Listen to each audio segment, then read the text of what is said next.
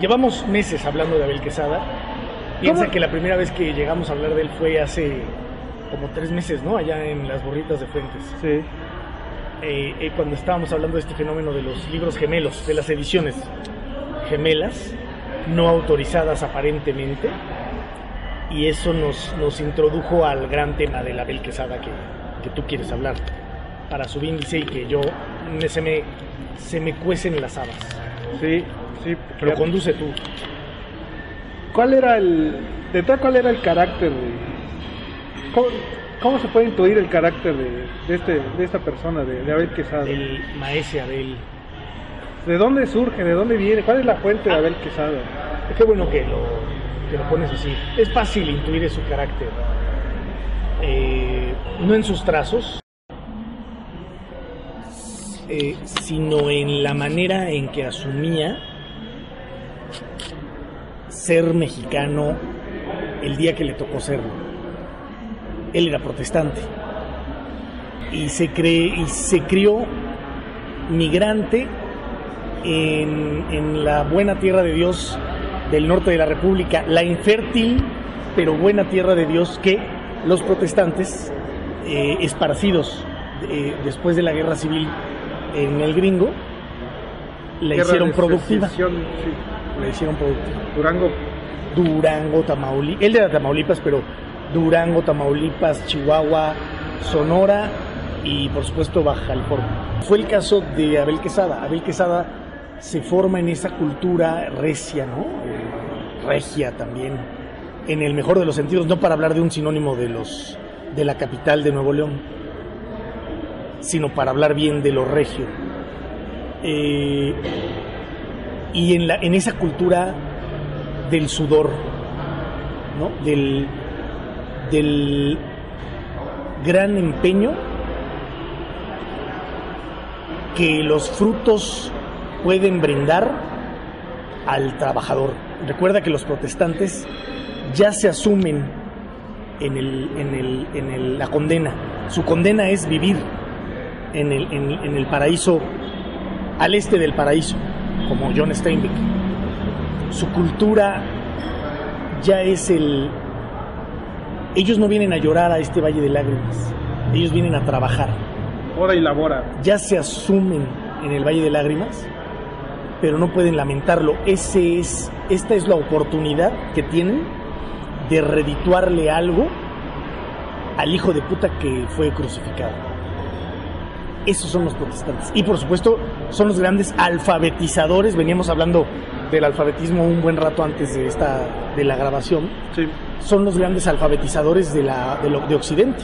Gutenberg el gran monje Gutenberg, el gran editor Gutenberg, el gran maestro Gutenberg, es el, el motor del protestantismo como una militancia ilustrada. Pero estábamos hablando sobre la- los- el principio de, de Abel Quesada antes de ser Abel Quesada. Exacto. Cuando, cuando su papá lo, lo traía de pueblo en pueblo sacándole sangre a la tierra seca del norte como buen protestante. Sí. Ahí fueron sus inicios, su, infancia estuvo ahí en, el norte. En el algodón, en, la pizca, ¿no? En los tomates, la lechuga. Ese paisaje norteño tan eh, poco explorado en, nuestro imaginario de, ciudad. Y él mismo trató siempre de llevar su obra hacia, hacia esos eh, hacia esas estampas secas. A pesar de ser tan pro- pródigo eh, y prolífico, Sí. no eh, no dejó de, de homenajear su infancia nunca con, con esos paisajes eh, frugales eh, y al mismo tiempo paradójico eh, tan eh, para, paramistas ¿no? La pregunta que estabas haciendo se responde con, con, con la palabra ciudad. Abel Quesada, a pesar de, de toda su formación, acabó siendo un gran animal de ciudad, un gran animal de, de civismo, de, de, ¿cómo decir? Urbano. Pues es que no quería decir urbano, pero pues efectivamente, un gran animal de la urbanidad. Y en esa lógica también comprendió que, que la ciudad era un espejismo. Eh, y entonces en sus dibujos, eh, tanto de ciudad, porque además descubrió el espejismo no en la Ciudad de México, sino en la, sino en la ciudad de Hierro, en Nueva York. En Nueva York. O sea, antes de ser Quesada, Quesada vivió en Nueva York. Quesada eh, se hizo en Nueva York, yo diría. Ajá. Ahí entendió la ciudad y, y lo persiguió toda su vida, a pesar de, de sus paisajes ¿no? protestantes del norte de México. Em, y en sus monos, porque también era un gran, eh, eh, a él no le gustaba decirse monero, pero sí dibujante, era un gran dibujante de moneros, de monos, perdón. En sus monos eh, capturó esa esencialidad de lo, de lo cívico, Sí. En el eh, irónico sentido de la palabra, que lo tiene mucho. Una Eh, ironía tremenda, sí. ¿eh? logra capturarlo y, y al proyectarlo captura a mi padre, captura a, a bandita a- a- con la que hoy me soy del todo deudor, ¿no? Eh, y que admiro mucho su trabajo desde hace años, grandes, pues grandes personajes de la cultura académica, como Iris Santa Cruz, la, la doña hermana de don René Avilés Favila, eh, y mi padre en particular, los captura a ellos, que ellos lo conocieron a Quesada como co- en el cotidiano, y, y es mi manera de dialogar con, con- con ellos, con ese humor y al mismo tiempo con esa cultura cívica irónica. La relación eh, eh, filial entre mi padre y gente que admiro y con la que trabajo desde hace muchos años, Sí. igual mi padre, ¿no? Yo diría, me llevó a Abel Quesada, fácil. Eh, y, y lo conozco en la preparatoria cuando Alfonso Morales, un gran curador de la obra quesadillesca, con Z, em, eh, hizo estas ediciones geniales de, de, ay, de esta editorial, la de los colores, ¿cómo se llama? Eh, Los libros de colores que, que están ahí. Bueno, estos, los las portadas de colores, con los temas El Tapado, El Charro Matías, el cine. Él se viviseccionó todos los temas de Quesada Sí. y los, Ah, y los proyectó en 1999, creo que es Grijalvo. Creo que sí. Ahorita ahorita, lo, ahorita lo vemos. Eh, entonces en el 99 empieza mi gran relación con él, con la edición de, esos, de esa colección que renovaba al Quesada. Sin embargo, Quesada, Quesada vino a, a retratar un México urbano que no termina, o sea, que no que, Que no se cuaja. que no se cuaja. que, que no cuaja en lo cívico de nuevo, diré, que no cuaja en lo... No hay en la Ciudad de México la gran conciencia de ciudad que sí nació siendo, por ejemplo, Nueva York, su gran modelo primero, ¿no? Su gran impulsor de la idea de lo urbano para Quesada. En México viven como en la región más transparente de Carlos Fuentes está muy bien dibujado, viven un montón de culturas eh, periféricas a lo, ciu- a lo ciudadano, a lo citadino, y entonces se convierte en ese espejismo, en, esa, en ese brutal espejo negro, tezcatlipoqueño, que es la Ciudad de México, sí. eh, Fuentes, eh, René Avilés Favila y Quesada son tres Hermanos. hermanos. Tres hermanos. Tres hermanos, además, hermanos. de la misma generación. Bueno, René Avilés Favila más joven, obviamente 20 años más joven. Este año cumpliría 80. Pero, eh, digamos, del, mismo, de la misma comprensión, del mismo ambiente, ¿no? Que era los campos de la Ciudad de México, po- cuando había campos, cuando había bosques así, que brotaban bosques ah, por aquí y por allá.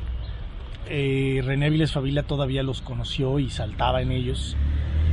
Eh, y, y- y él ya entendió la ciudad juvenil de los años 60, ¿no? René. Mientras que Quesada ya era un mayorcito En los años cuando 60. llegaron los años 60, sí, ya era un señor de traje, el señor Pérez. El- el- la caricatura del señor Pérez era su, Era su... es su heterónimo. Pero sí, son hermanos. O sea, en todo caso, Fuentes y Quesada son hermanos eh, lineales y René es el hermanito menor que Quesada... llegó a chingar. sí, definitivamente, el hermano menor que de una Que nueva generación. Sí, sí, sí. Pero retrata a Quesada ya de una un México que ya no es. Sin embargo, en la en su humor, en su en sus dichos, en la política principalmente sigue siendo lo totalmente eh, Vigente. Vigente, ¿no? Dice Kemch, Arturo, gran monero del Kemch. día de hoy, eh, que, que a Quesada hay que retomarlo con, con pies de página, ¿no? Con, con una introducción. Eh, y, pero yo creo que no. ¿no? Yo creo que lo más que te puede pasar con Abel Quesada, si es que no lo entiendes, es que no te rías, pero tal como él quería. Él no quería hacer reír a nadie. Él quería hacer comprender a la banda. Y, y su manera tlacuila de hacerlo, pues era con la- los dibujos. Los eh, el otro gran monero eh, Rius Frius Alumnazo de Quesada. tiene que ver mucho con él. todo, todo. A Rius le piden eh, cuando, cuando a Quesada le deja su lugar en novedades, le piden que haga de Quesada. Y así surge Sangarabato. ¿no? Es un Quesada que sale de la ciudad, evidentemente, porque Rius no venía de una cultura eh, urbana, neoyorquina, ni mucho menos. Creo que si Rius conoció Nueva York ha de haber sido ya muy viejo. Sí. Eh, pero Rius venía del pueblo, de mi- del mero Michoacán, ¿no? Michoacanazo. Y, y él hizo de esa provincia eh, tan metida en nuestros guaraches, en nuestra en nuestras rutinas, todavía en la ciudad de, de bañarnos todos los días, de levantarnos temprano, de, de- de buscar el alimento fresco Sí. y por supuesto de, noviar, ¿no? En la cultura novillera mexicana de la Ciudad de México es muy de provincia. ¿no?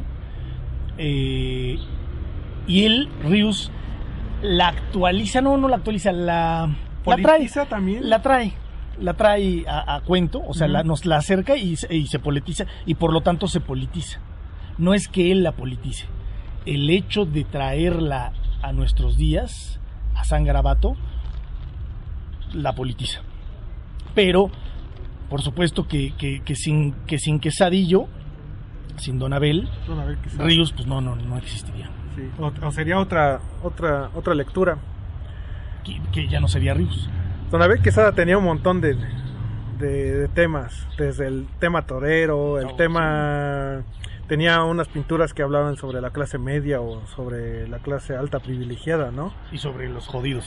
Y sobre los jodidos, principalmente, pero principalmente también sobre la clase media. Una clase media que todavía existía en esta ciudad. Ajá, naciente, años- Sí.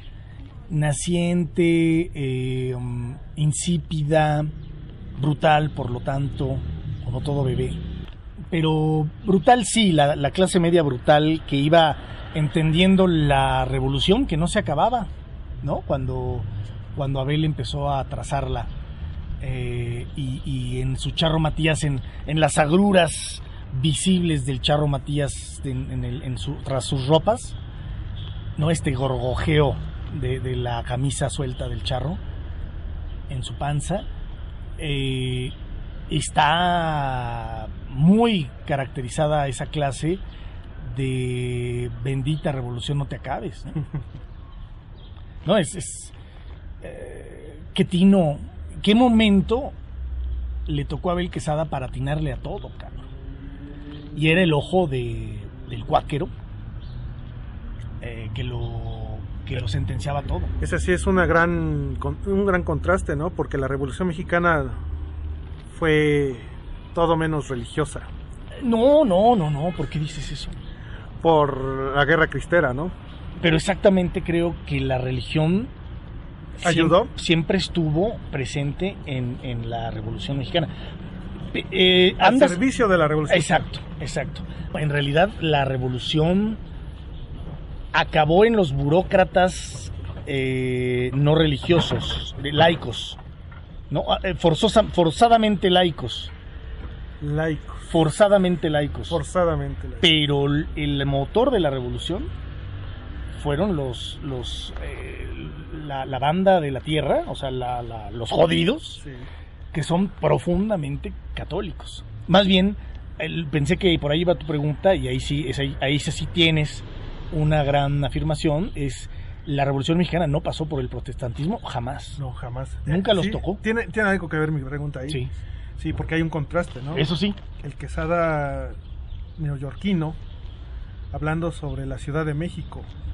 Y, y sus, y sus dibujos tienen una gran diferencia de otros, de otros dibujantes, ¿no? Mexicanos. Y, y, y, por supuesto neoyorquinos. Es, son, es, su, su trazo es más, ¿se podría decir más límpido o ya estoy exagerando? No, no, sí, es limpio, es, es, es muy eh, económico, es también económico por, eh, más bien hablando de ahorrativo, en exceso aniñada, eh, faciloide, iba, estaba diciendo yo, Sí. eh, eh, como que te da la impresión de que cualquiera sería capaz de imitarlo y en cuanto comienzas a hacerlo, te das cuenta de que jamás se va a poder imitar. Esa es la esencia de un, de un artista. La esencia y la magia de un artista es que cualquiera, que haga que cualquiera crea que, Exacto, que puede imitarlo. exacto. Pollock eh, lo, institucionaliza, ¿no? Lo, incluso comercializa esa, ese lugar común de los artistas eh, contemporáneos. Todos podrían, todos creen que podrían hacer un Pollock, pero nadie es capaz de hacerlo. Todos se creen capaces de hacer monos quesadillescos, pero nadie es capaz de hacerlo. Ni, ni tener esa, esa lectura que, que tuvo, esa chispa de inteligencia para desnudar, para desnudar a todos. a todo mundo. Él mismo, ¿no? Él mismo, ya, ya decíamos del señor Pérez, tuvo el decoro de dibujarse en sus manías, en su en sus conflictos de clase, en su en sus pensamientos, en sus sentimientos. También el, el- el- el señor Pérez es un es un ser sensible que, que es acuchillado eh, todo el tiempo por, por, la, por la realidad, ¿no? Cuando está en el tráfico, cuando pide chamba, cuando se lo expulsan de una chamba, em, cuando trata de entender a los perritos o lobinos de la calle, eh, cuando, cuando está en las manifestaciones. Eh, sí, sí, es, es, es, es, es muy auténtica su desnudez, quesadillesca. ¿Quién es Alfonso Morales? El gran curador de Abel Quesada, particularmente, Ah, y eh, el director que, que es, creo, todavía, si es que aún existe Luna Corne, su director. Y director, por supuesto, del Museo de la, de la Imagen, ¿no? Alfonso Morales. Ponchito, el gran intérprete, yo diría evangelista del Códice Quesada. Ese códice que, que, que ya tenemos tres, Aquí nos vamos patuchante por acá. tenemos tres fascículos del códice Quesada, Que son dos. que son dos y uno putativo en todo caso. ¿no? Y uno putativo. ¿Quién es Quesada, Praxedis? ¿Quién es Abel Quesada? Ese gran Un dibujante que quiso eh, traer una palabra vindicativa y pedagógica a la vez. Un dibujante, una cosa nada difícil, ¿verdad? Sí, cotidiana, ¿no? En México. Sí. Un dibujante que supo que tenía que tener el poder, fíjate, ¿eh? qué, qué frase tan rimbombante. Supo que tenía que tener el poder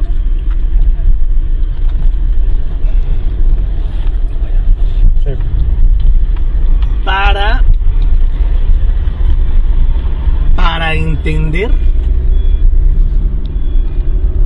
que lo que pasaba que lo que pasaba en México era tenía que ser contado no sé si me Sí, sí, sí. O sea, él, él tenía la necesidad de, de contar algo acerca del la mexicano. responsabilidad La como, responsabilidad. como buen eternamente cuáquero cuasi cuáquero Exacto. Era un dibujante con una misión.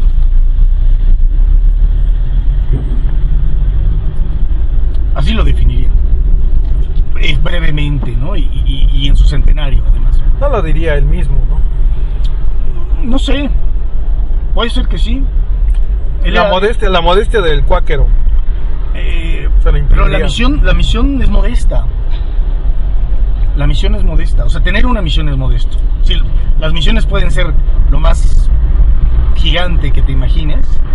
La misión del profesor, por ejemplo, es interminable, incansable, eterna, eh, inconmensurable. Sin embargo, es modesta al mismo tiempo. Él inventa, dice Kemch, que dice Kemch que, que um, renueva la imagen del tapado que ya en el siglo XIX eh, se había se había usado en, en México, ¿no? En- en- con canastitas. Sí. Eh, y, y- y- pero en realidad Helio Flores y Paco Calderón, por ejemplo, ¿Son contemporáneos? no, son sus alumnos, Ajá. ya de segunda generación. Eh, dicen que lo inventa, que inventa el, el imagina, en, el, en nuestro imaginario al Lo tapado. fija. Lo fija y le da esplendor. Lo fija, lo pule y le da esplendor. Aquí está el tapado. El gran personaje de, del, del que todos los presidentes llegan a, a encarnar ¿Habrá tapado en este momento? En este sexenio. A, a partir de que se empezó a caricaturizar el tapado, se empezó a destapar. Al, al evidenciar tanto, al señalar tanto al tapado, Sí. le exigió al tapadismo que comenzara a transparentarse. Juzgó al tapado como un ente eh, vitalmente hipócrita. Y, y en esa ecuación quesadillesca lo, lo catapulta y lo destapa.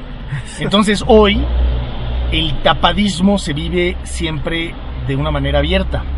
Piensa en Marchelito Ebrard, ¿no? Qué, qué gran contradicción, ¿no? Pues, o, contraste. es un- ese contradicción sí. y contraste. Esa sí es un legado de don Abel Quesada.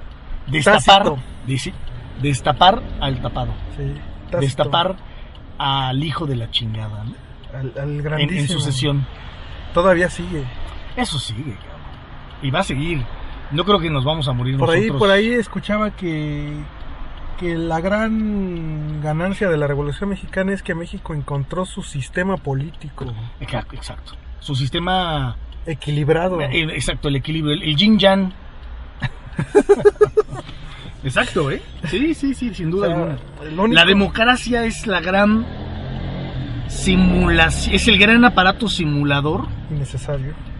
necesario para que no haya batallas tan cruentas como en la Revolución Mexicana. Sigue habiendo sangre, ¿no? No hay que olvidar que hay casi 80 mil muertos eh, en hechos de sangre en este sexenio, pero no, no son muertos de política, No. son muertos por la política, no de política o políticamente. ¿no? Se transformó. Se transformó, Ese sí. reguero de sangre se transformó. Se en transformó en, en- en una, en, en una guerra de pandillas. Abel Quesada, eh, más bien, eh, no, ya ni siquiera tiene que hacer su cartón. Siento que ya vivimos en un cartón de Abel Quesada. Nos condenó. Hoy en sus Nos 100 años, encerró. nos encerró en, en sus cartones. eh, en, en- en su, en su modo de ver que ya hemos expresado. Sí. Tan generoso. Estamos viviendo en un cartón eterno de Abel Quesada. Eh, a veces con, con mucho humor, pero las más de las veces con mucha angustia. A comenzar a, a- a- a entender su- la gran misión del dibujante, eh, yo siempre he, he descubierto que además era un gran prosista, no solo en sus monos, que están, como pueden ver, llenos de prosa, ¿no? Sí. O sea, en realidad el mono tiene un tercio, un cuarto de la, de la presencia de su, de, su, de su prosa. No solo ahí me lo encontré y no solo por eso lo, hablaría del prosista, Don Abel, sino en sus cuentos, cabrón. Sino en la en su manera de narrar, en su narrativa oficial, pongámosle entre comillas, en su narrativa abierta, sin comillas,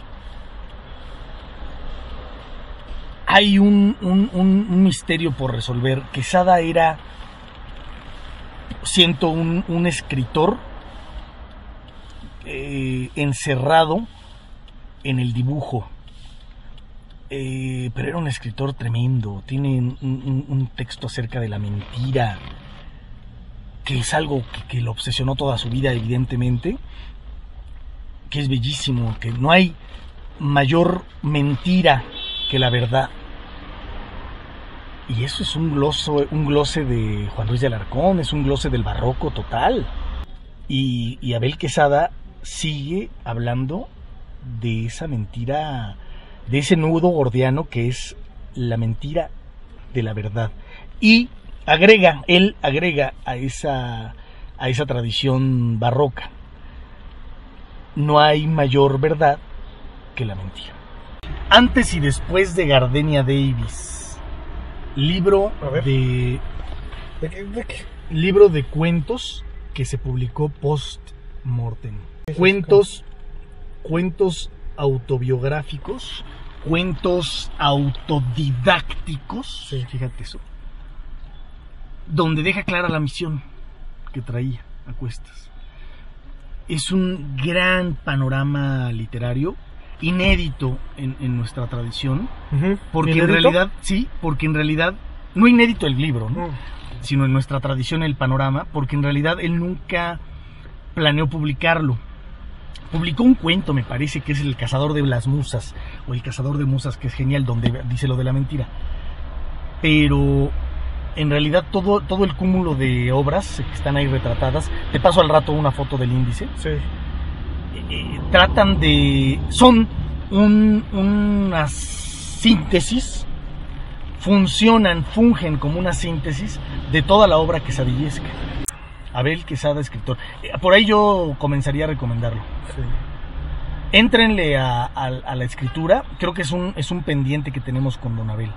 Los dibujitos ahí están y estarán siempre, serán geniales siempre, eh, nos, nos refrescarán siempre, nos, nos, nos, atraparán siempre, nos, somos fieles rehenes de los trazos de Abel Quesada, ya quedamos. Sin embargo, la literatura es, es el gran pendiente que tenemos con él. Es ahí, eh, creo que hay que enmarcar en sus 100 años la gran calidad de narrador que era Don Abel.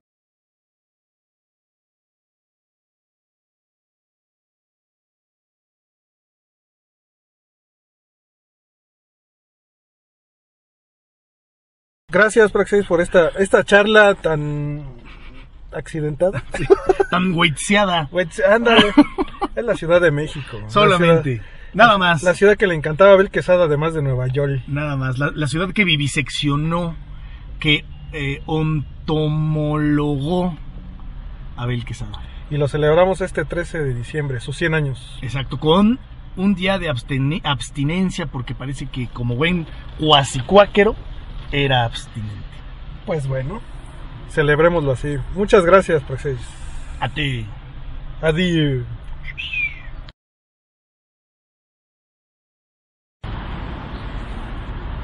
Bueno, Praxedis, ya salimos de La Habana. Ya salimos de La Habana. Uy, ojalá. Cuando salí de La Habana, válgame Dios. Una polca. No. si a tu ventana llega una paloma, trátala con cariño, que es mi persona.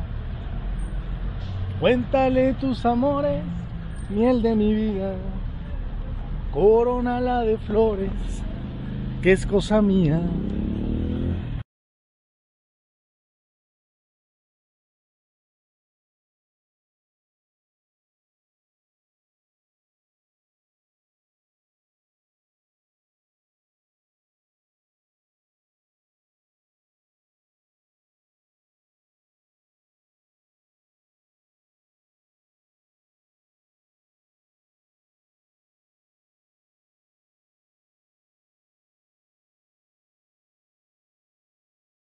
Pues bueno, Y que Abel, Abel, que tiene Abel, que todos los niños queremos con él. Abel, Abel, que tiene el Abel, que todos los niños queremos con él. muy musical, Praxedis. El musical. El Abel musical. Quesada, el El musical.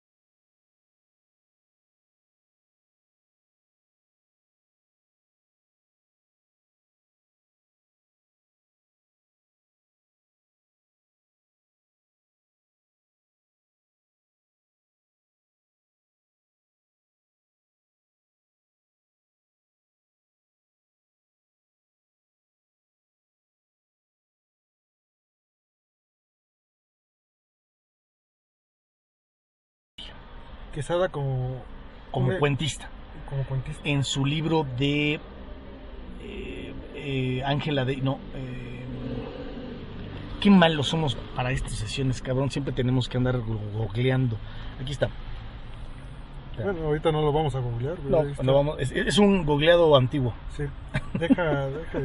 Es más, ahorita que lo encuentres. Edítale, edítale esas pendejadas, ¿no? No, jamás, güey. Pues las pendejadas son lo que más atrae al público, güey. Pero pues, no, lo digo por, por, por Abel. Por co- economía de tiempo también. Sí, güey, luego te sacas los, las, las tres partes de la China Mendoza que no, que nunca planeamos, güey.